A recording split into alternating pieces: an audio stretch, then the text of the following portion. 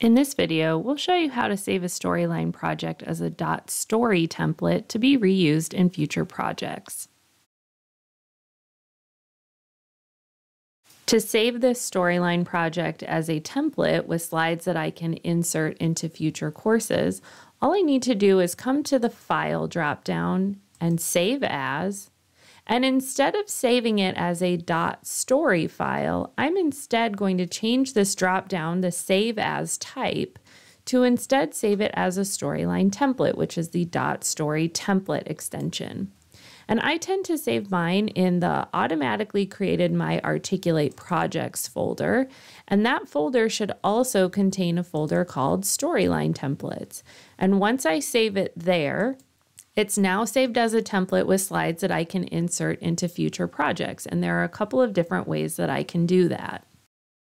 And the first way is from the Storyline Start screen. Before I even open a new project, I can import from that story template that I've saved.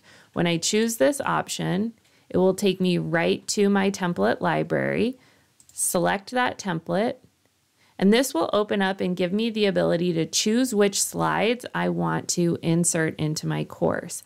My template is saved with different scenes in it, but if I want to just choose some of those slides, I can hold down the control key and pick the slides that I want.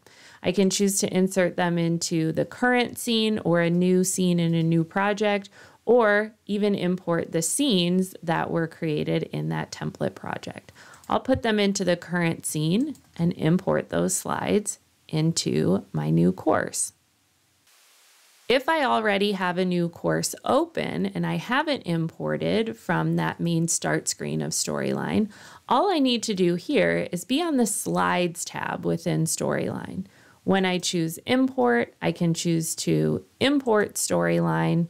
Again, takes me right back out to my storyline templates folder, select that item, and I have the same screen with the options of what slides I want to include into this project.